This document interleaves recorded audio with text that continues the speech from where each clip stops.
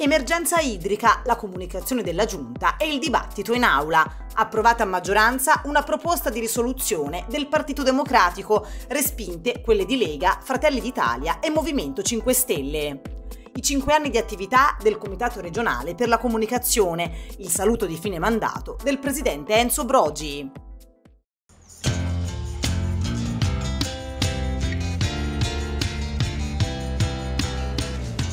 Nella seduta di martedì 8 novembre del Consiglio regionale della Toscana ha avuto luogo la comunicazione dell'assessora Monia Monni in merito allo stato di emergenza idrica. L'Assemblea toscana ha approvato a maggioranza una proposta di risoluzione presentata dal PD che condivide i contenuti della comunicazione e in particolare il quadro complessivo degli interventi proposti, impegnando la Giunta regionale a portare avanti le proposte progettuali e gli interventi strategici al fine di articolare una risposta complessiva ai ai cambiamenti climatici, in un'ottica di maggiore sostenibilità ed efficienza della gestione della risorsa idrica in Toscana. La siccità ha caratterizzato quest'anno in tutta Italia, la Toscana forse un po' meno degli altri perché noi abbiamo Bilancino, quest'opera pubblica realizzata grazie alla Regione che ha una funzione importantissima nella Valle dell'Arno per il contenimento dell'acqua d'estate e il rilascio graduale, per il trattenimento dell'acqua ai fini di prevenzione dalle alluvioni nel periodo invernale. Con Bilancino 70 milioni di metri cubi,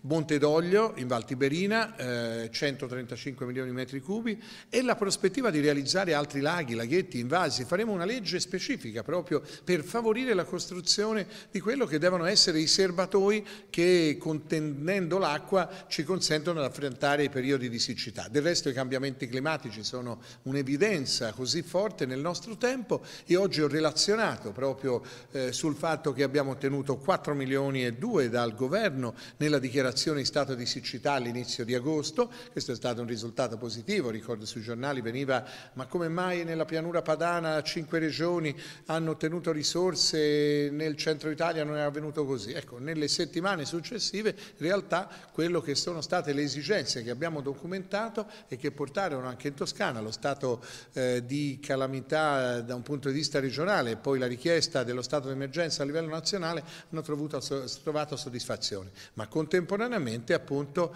le modifiche di legge, la previsione puntuale di interventi che portino laghi, laghetti, invasi quasi a eh, calmierare una situazione che altrimenti con eh, quello che sono le modifiche del clima eh, può creare problemi tutti gli anni. La questione della risorsa acqua è una questione di sicurezza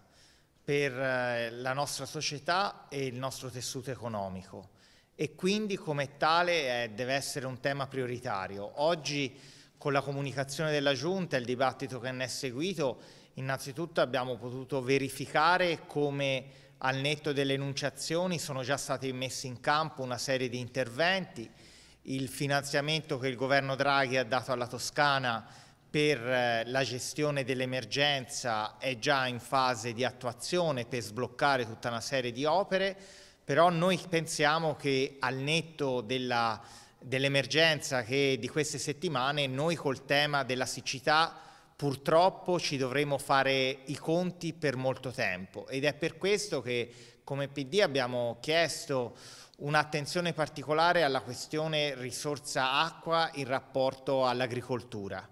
Eh, l'agricoltura eh, ha chiaramente come fondamento la risorsa idrica, ma allo stesso tempo mettere in campo una serie di misure per efficientare l'utilizzo della risorsa, gli invasi e tutta una serie di altre misure per evitare che ci sia lo spreco di questa risorsa sempre più preziosa diventa fondamentale. Ecco perché abbiamo chiesto anche all'assessore Saccardi di orientare le risorse del piano di sviluppo rurale che sono in previsione per i prossimi anni molto per sostenere la realizzazione di opere che permettano alla nostra agricoltura di avere acqua, e di non appunto sprecarla in nessun modo. La crisi idrica, al pari della crisi energetica, è una de, tra le grandi emergenze che siamo chiamati a gestire in questa fase legislativa del governo della regione toscana, bene le risorse arrivate dal governo precedente, da Draghi, per cercare di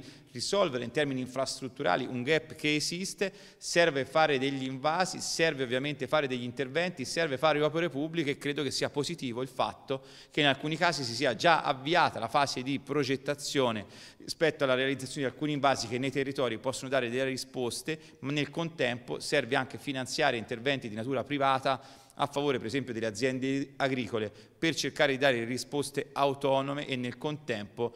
aumentare gli interventi da parte dei consorsi e della regione stessa per cercare di rendere la nostra regione, di fare degli invasi e delle infrastrutture in grado di rispondere in termini infrastrutturali a quella che purtroppo è un evidente cambio climatico con il quale dovremo convivere nei prossimi anni. Abbiamo dibattuto a lungo, io a marzo scorso avevo già presentato un primo atto eh, non considerato dalla maggioranza, dove già all'epoca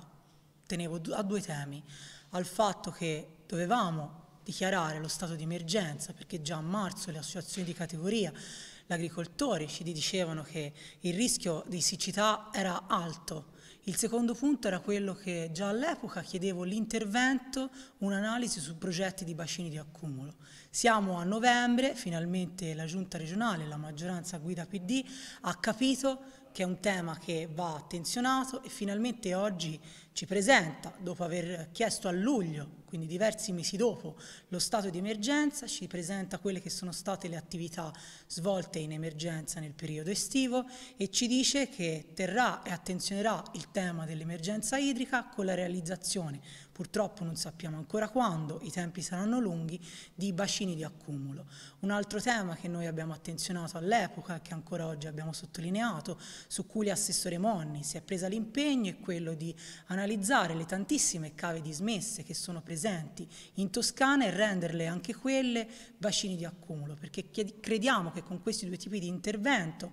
non si possa risolvere al, 100% il tema dell'emergenza idrica, ma si possa dare un grande aiuto a tutta la Toscana. Finalmente siamo riusciti a parlare dell'emergenza idrica che sembra alle spalle ma in realtà incombe già sul 2023. Infatti i livelli di accumulo che AIT, l'autorità idrica toscana, ci dice sono stati raggiunti ad oggi e si raggiungeranno nella prossima primavera sono molto bassi e quindi rischiamo anche per il 2023 una situazione difficile. La regione toscana chiese l'emergenza nazionale che è stata dichiarata con decreto del Presidente del Consiglio dei Ministri del primo di settembre, sono arrivati 4,3 milioni di euro che in realtà però andranno per opere più o meno ordinarie, dalle autobotti al miglioramento e al recupero di alcuni pozzi di attingimento, senza attaccare invece alcune questioni fondamentali nell'approvvigionamento idrico e anche a scopo eh, agricolo e industriale dell'acqua, ovvero sia da una parte lottare agli sprechi, alla perdita che in Toscana ammonta a 178 milioni di metri cubi all'anno circa, la, il recupero ad oggi è arrivato a 38 milioni di queste perdite, dall'altra parte irrobustire pesantemente il sistema di invasi medi, piccoli ma soprattutto grandi che affianchino Monte d'Olio e Bilancino e in particolar modo da questo punto di vista abbiamo rilanciato l'idea della grande diga sul Merse che potrebbe dare decine di milioni di metri cubi di acqua, soprattutto alla Toscana del Sud, eh, idea su cui il Presidente Gianni ha dato disponibilità, fermo restando la necessità di un confronto con gli enti locali del territorio.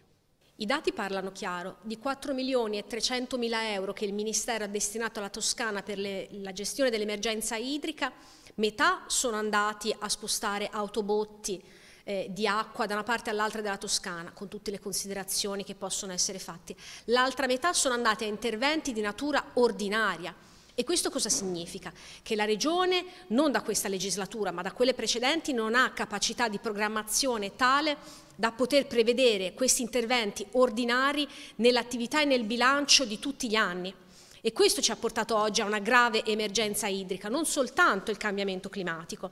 Basti pensare che la, in alcune aree della Toscana la metà dell'acqua che circola nella rete viene persa all'interno degli acquedotti e che il, il tubo che collega praticamente eh, l'isola eh, d'Elba e la costa in questo momento è vecchio di 30 anni e potrebbe rompersi da un momento all'altro lasciando l'isola d'Elba senza acqua e in questo momento si sta progettando invece un dissalatore per produrre dell'acqua all'isola d'Elba con grandissimo costo dal punto di vista dell'energia e metterlo in una rete che perde il 43%. Insomma, nessuna capacità di programmazione, nessuna capacità di manutenzione ordinaria al punto che abbiamo perdite gravissime, l'ottimismo che ha manifestato il Presidente Gianni nel commentare la comunicazione dell'assessora Moni è assolutamente inspiegabile. Crisi idrica, eh, si parla di 4 milioni e 300 mila euro che sono arrivati in Toscana per fronteggiare questa criticità. Eh, ciò che manca però eh, a nostro avviso è eh, la parola investimenti. noi non possiamo eh, continuare ad intervenire esclusivamente da, sotto un profilo emergenziale.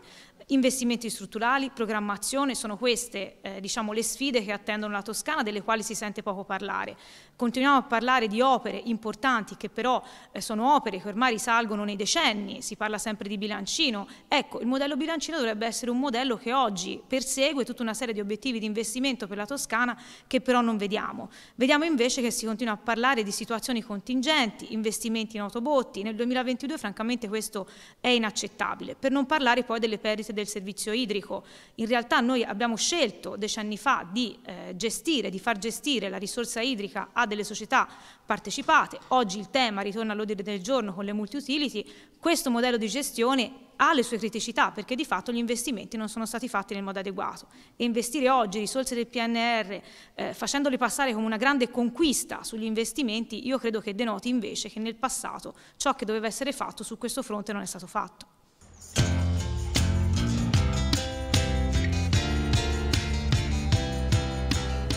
Farsi conoscere dai cittadini, il patentino digitale nelle scuole, i premi alla buona comunicazione, la vigilanza su una par condicio da riformare e la risoluzione delle controversie telefoniche. Queste alcune delle principali attività che il Corecom, guidato dal presidente Enzo Brogi, ha portato avanti dal 2017 al 2022 e che sono state presentate nel corso di una conferenza stampa martedì 8 novembre a Palazzo Bastogi, proprio nella sede del Comitato regionale. Corecom un acronimo complicato e che spesso induceva anche a confondersi con altre, con altre associazioni e poi eh, siamo nati vent'anni fa quando ancora c'erano i telefoni a gettoni e il PC era uno storico e nobile partito dell'altro secolo. Quindi abbiamo provato a modificare eh, il modo di comunicare il nostro lavoro. Noi siamo una vedetta della comunicazione a 360 gradi. Cerchiamo di tutelare i cittadini per la difesa. Qua dietro ci sono quintali di pratiche che eh, cittadini aziende eh, si sono rivolte a noi per tutelarsi verso eh, difetti, errori e ritardi di comunicazione, ma poi anche sulle insidie e le opportunità che la rete dà a tutti, in modo particolare ai giovani e penso per esempio al patentino digitale. Il Corecom si rinnova nella continuità, ha poi concluso Brogi, e il segnale lo diamo proprio oggi, intitolando la sala dell'accoglienza al primo presidente del Corecom, Omar Calabrese. Presente anche il presidente del Consiglio regionale, Antonio Mazzeo, che ha celebrato il lavoro svolto dal Corecom in questi cinque anni. Io vorrei ringraziare Enzo Brogi e tutto il Corecom per il grande lavoro svolto. Eh, mi ero posto un impegno, quello di fare in modo che il Consiglio regionale si aprisse sempre di più e i cittadini fossero eh, i protagonisti delle scelte che mettevamo in campo. Grazie ad Enzo Brogi oggi possiamo dire che il Corecom ha voltato pagina, è cresciuto ed è riuscito sempre più ad essere vicino alle istanze dei cittadini. Tanti i progetti importanti, penso alla Toscana che fa bene, rivolta al mondo del volontariato, alle buone pratiche di comunicazione, oppure l'attenzione rivolta ai giovani, ai social network, a come si comunica oggi. Eh, il modo di comunicare oggi richiede grande attenzione, una grande cultura, perché è vero, la rete è un luogo di grande opportunità, ma è anche un luogo in cui le ragazze e i ragazzi possono trovare pericoli. Allora il compito delle istituzioni è quello di formare ragazze e ragazze che sappiano utilizzare i nuovi strumenti di comunicazione e la legge regionale approvata è il riconoscimento di questo grande lavoro.